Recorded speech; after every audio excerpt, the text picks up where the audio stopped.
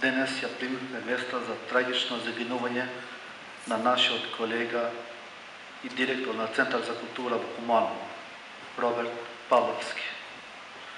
Роберт беше не само драг колега, туку и голем човек и културен работник, кој искрено се залагаш, се залагаше за унапредување на нашите културни вредности во земјата и надвор од неја.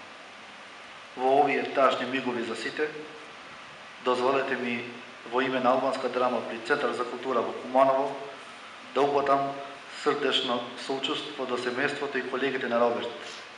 Почивај во мир.